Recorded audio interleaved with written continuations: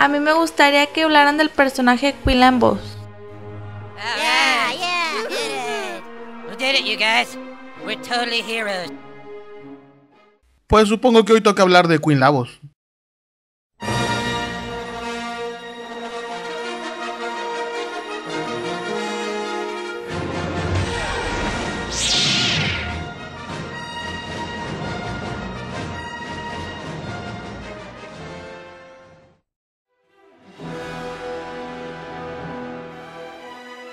Quinlan Boss fue uno de los Jedi que sirvió como caballero en los últimos años de la República Galáctica y participó como general durante la Guerra de los Clones. Por lo tanto, fue contemporáneo a personalidades como Obi-Wan o Mace Windu.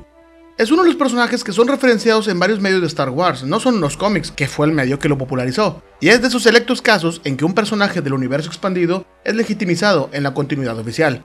Él es un Kifar, una raza de semi-humanos indios norteamericanos del planeta Kifu, o sea, un planeta de indios. You don't think that's just a little bit incredibly racist? I don't give a shit. miembro del clan Boss, el clan dominante de su sistema, cuyo emblema familiar es una estrella de cinco picos dentro de un círculo, razón por la cual él aporta en su hombro a pesar de ser un Jedi y no tener relación directa con el gobierno de su mundo. Los miembros de su pueblo poseen una habilidad llamada psicometría, que les permite conocer ciertos hechos de las personas con solo tocar objetos que hayan estado previamente en su posesión. Todos los Kifar presentan de forma innata algún nivel de estabilidad, pero Quinlan nació con la capacidad más alta que se ha tenido conocimiento, posiblemente potenciada por ser sensible a la fuerza. Fue lo intensa que es la fuerza en él lo que llamó la atención de los caballeros Jedi, que lo tomaron bajo su tutela asignándolo como padawan del maestro Jedi Tolm, otro personaje recurrente en los cómics de Star Wars. Es poco lo que sabemos de Quinlan como padawan de Tolm, tenemos algunos recuerdos muy concretos y su participación en la guerra hiperespacial Stark, pero es menor aún lo que sabemos de sus primeros años como caballero, antes de que una sobredosis de una droga le hiciera perder todos sus recuerdos. Pero nos estamos adelantando un poco en la historia. El personaje nació por la necesidad de tener un protagonista Jedi para la serie de cómics Star Wars República, que aunque al inicio no se llamaba así, sino solo Star Wars. Esta serie se publicaría mensualmente a la par del estreno de las películas, para expandir la historia en torno a estos episodios al mismo tiempo que llenaba los huecos existentes tanto con la trilogía original como con el universo expandido que se había generado en torno a ella, retomando temas como las brujas de la fuerza de Datomir o la flota republicana xenofóbica que conformaría la flota imperial, y muchas referencias a personajes, mundos, razas, etc. A pesar de contar historias distintas y teniendo cierta variedad de personajes principales, Lucasfilm quería un Jedi como protagonista recurrente y que hubiera aparecido en el episodio 1, para establecer una relación rápida con los nuevos fans, por lo que el protagonismo de la serie recayó en... Mundi. Bueno, todos estamos de acuerdo que quizás no fue la mejor elección posible. Mundi no es un mal personaje, pero carece del equilibrio entre personalidad y carisma que debe tener un protagónico, al menos un protagónico de Star Wars. Y luego de protagonizar 13 números de la serie, llegó el arco argumental Misión a Malastre, una de las historias más entrelazadas y extrañas que se puede encontrar en todo el universo expandido, en donde la trama da constantes vueltas sin sentido y cambia protagonista constantemente. En esta curiosa historia es donde se presenta el nuevo personaje, Quilavos, un caballero Jedi formado que se encuentra con Mace Windu en Nar Shaddaa. Este Jedi también aparece en el episodio 1, tal como era el requerimiento original, pero a diferencia de Kiadimundi, su aparición es mucho más discreta, de hecho, es en calidad de extra, en una escena en concreta en Tatooine, en el fondo. No es un hecho completamente oficial que Queen Lavos fue el reemplazo de Kiadi Mundi en Star Wars República. Jamás escucharás a un ejecutivo de Lucasfilm diciendo algo como Pues queríamos a Kiadi Mundi como protagonista, pero la cagamos. Pero tan pronto como la participación del nuevo Jedi comenzó, el anterior desapareció de las historias en toda la serie. Así que cada quien tome sus conclusiones. En República número 19 comenzó el arco argumental Crepúsculo, el primer protagónico de Queen Lagos. Y por si el nuevo personaje no fuese aún lo suficientemente enigmático, la historia comenzó con este Jedi en medio de la luna de los contrabandistas, con la memoria borrada, perseguido por recompensas y sin saber el paradero de su aprendiz. Porque sí, ya se había dejado sentado que Queen Lagos tenía un Padawan, pero nunca se había visto, lo que contribuía al misterio de primera mano. Con ayuda de sus habilidades Jedi, algo de suerte y el extraño apoyo del contrabandista de baroniano Bill Malgrar, Quinlan descubre la causa de su pérdida de memoria, con un pequeño tropiezo al lado oscuro del camino, el primero de muchos, y descubre el paradero de su padawan, Ayla Secura. Sí, esa Ayla Secura es la padawan de nuestro protagonista. Pasaría tiempo antes que Quinlan y Ayla se pudieran recuperar completamente de, de la experiencia de haber perdido sus recuerdos, y de hecho Quinlan jamás los pudo recuperar y conforme fueron avanzando más y más historias de este personaje, también lo fue siendo su reintegración a la Orden Jedi. Una de las historias que cuenta República sobre este personaje es su participación en la Guerra Hiperespacial Stark, un conflicto que existió entre la República Galáctica y una extraña alianza entre contrabandistas dirigida por el personaje así llamado Stark, que no era más que un bribón con tanto carisma como demencia. Quinlan participó en esta guerra varios años antes del episodio 1, por lo que los personajes de República en realidad no muestran la historia sino que la recuerdan, utilizando un método poco común en la historia de Star Wars, que es contar una historia que ocurrió en otro momento, en el pasado. Es durante la narración de esta historia que se hace referencia a que Queen Laos estaba efectivamente en Tatooine durante los tiempos de la amenaza fantasma. Era una especie de misión secreta. ¿Cuál era exactamente esa misión secreta? Ese, amigos míos, es un misterio que quedó sin resolver. Luego llegamos a República número 45, donde tanto Queen Lavos como Ayla Secura se convierten oficialmente en Caballeros Jedi. Obviamente vos ya lo era, pero la pérdida de memoria hace que literalmente no recuerda ese proceso, y la Orden Jedi no lo reconocía como tal por lo mismo. Aunque Vos no aparece formalmente en el episodio 2, solo en la versión de cómic del mismo, al lado de otros caballeros en la arena Genosis, para sorpresa de los fans que seguían la serie República en aquellos años, Ayla Secura, su Padawan, sí lo hace, y como un personaje en forma, al parecer la idea de una Twi'lek Jedi le gustó mucho a George Lucas. Con eso, Ayla se convirtió en un personaje oficial mucho antes que Quillan, aunque eso sí, sin tener el más mínimo diálogo en las películas. Hay por ahí un rumor que tenía un diálogo que no se filmó en el episodio 3, pero esa es otra historia. Pero al menos se ganó una escena de muerte bastante decente. Como todos sabemos, después del episodio 2 comenzó la guerra a los clones, y la serie República se centró en ese conflicto a partir de su número 50. Pero a diferencia de muchos otros Jedi, Quinlan no participó directamente en el conflicto como general, no al principio, sino que fue parte de una red de espionaje que tenía como fin infiltrarse en los separatistas para conseguir información del Conde Dooku, la Confederación de Sistemas Independientes y poder ganar la guerra.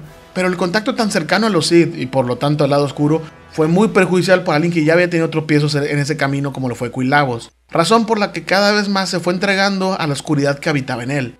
Boss terminó ganando la confianza de Dooku y se entregó por completo al lado oscuro cuando mató a la líder de su pueblo, no sin merecerlo, cabe aclarar, y ganar su mundo a la causa separatista. Curiosamente esto no ocurre durante la serie República, sino en un número especial de la serie Jedi, una serie de cómics, también ambientada durante la Guerra de los Clones, que relata, del punto de vista de ciertos personajes, comúnmente Jedi, el conflicto que se está llevando en la galaxia. Específicamente en el número dedicado al Conde Dooku es donde vemos la caída de Quinlan. Siguiendo con la serie República, Queen Lavos realiza varias tareas como agente, espía y asesino, pero al mismo tiempo trata de obtener información acerca de los Sith, y aunque parecía que estaba en un punto sin retorno y que sus acciones buenas eran ensombrecidas por las malas, seguía aferrándose a una pequeña luz que había en su interior, gracias en parte al aprecio que sentía por su antiguo maestro Tolm, su antigua Padawan Ayla y su amante Kalin. ¿Amante? Sí, bueno, vos tenía un amante. No lo juzguen, nadie piensa mal del maestro Tolme y eso que tiene de amante a la Jedi Traza. Y es una mujer árbol. Finalmente, en el República número 77, durante el arco argumental Asedio en Selukami, Quinlan se inclinó por completo por la República, oponiéndose a Dooku, a los separatistas y al lado oscuro, de una forma literal tanto como simbólica, y renunció por fin a la oscuridad que había en él. Pero eso sí, se quedó con su novia. En los tiempos previos al episodio 3, Quinlan se convirtió finalmente en general y participó activamente en la Guerra de los Clones. Es en este periodo de tiempo en donde se puede ubicar sus apariciones en The Clone Wars como un Jedi reformado, aunque algo más alegre de lo que recordamos en realidad. Hey, Commander, looking good. Y su protagonismo en la novela Aprendiz Oscuro, donde aparece en una historia junto con Asajj Ventress. Debo decir que cuando supe que Queen Lavos estaría en The Clone Wars, pensé que sería una reimaginación del personaje. Pero en realidad no, es el personaje de Star Wars República, está allí, con todo y sus poderes de telemetría. Aunque para ser justos, es más como una estrella invitada que un personaje en forma para la serie. Y retomando el tema de la guerra de los clones, es curioso que Quinlan no tenga una participación en la serie Clone Wars de Gratakovsky, aunque sí se le dedicó un capítulo en el cómic Clone Wars Adventures que estaba derivado de esta serie. Pero lo que respecta a su participación en República, esta, junto con esa serie, está a punto de terminar. Queen Lavos no apareció tampoco en el episodio 3, pero al menos en esta ocasión recibió una mención en la película. has fallen, and Master Voss has moved his troops to Boss Pity y la adaptación en cómic incluyó una escena de su muerte durante la Orden 66. También es mencionado repetidas veces durante la novela Laberinto del Mal, que sirve como puente para la venganza de los Sith. Ya saben, debido a que ese episodio comienza con una historia ya iniciada, en la que el canciller Palpatine ya ha sido secuestrado por el general Grievous. Algunos listillos por ahí dirán que esa parte de la historia ya está explicada en los últimos capítulos de Clone Wars, y tienen toda la razón. Pero al mismo tiempo que se crean esos capítulos, también se escribía la novela Laberinto del Mal. ¿Por qué? No lo sé. Recuerdo una entrevista muy clara de Tartakovsky diciendo que a él le habían pedido crear esos episodios para arrancar el episodio 3. No sé cuál fue la necesidad de crear otra novela. Y el problema incrementa porque ambas fuentes se contradicen directamente. Pero ¿qué se le puede hacer? En una saga tan grande estas cosas pasan. Después del episodio 3, solo se tiene un arco argumental en República, Enemigo Oculto, para luego terminar la serie en el número 83. Esta historia nos muestra cómo Boss sobrevivió al ataque de sus clones durante la Orden 66, pero quedó muy mal herido y a merced de sus tropas que le estaban dando caza, dando como resultado una de las historias mejor logradas de toda la serie, acabando en un final tan dramático que solo pudo ser reinado de una forma. Quinlan sobrevive al final, con todo en su contra, preparado para morir, habiéndose sacrificado para salvar a sus amigos, Quinlan logra vencer a los clones que amenazaban con su vida. El problema de dejar vivo a este personaje al final es que ya no tenemos historia que contar. Sí, él apareció luego en la serie de Clone Wars, lo sabemos, pero esas apariciones son obviamente antes del episodio 3 y por lo tanto antes del final de República. Después de la serie ya no se ha vuelto a retomar el personaje en ninguna otra historia, salvo la cuestionable Fantasma, donde un viejo Queen Lavos rescata a un joven Han Solo de unos cazarrecompensas. Después de eso no tenemos un destino final para el personaje.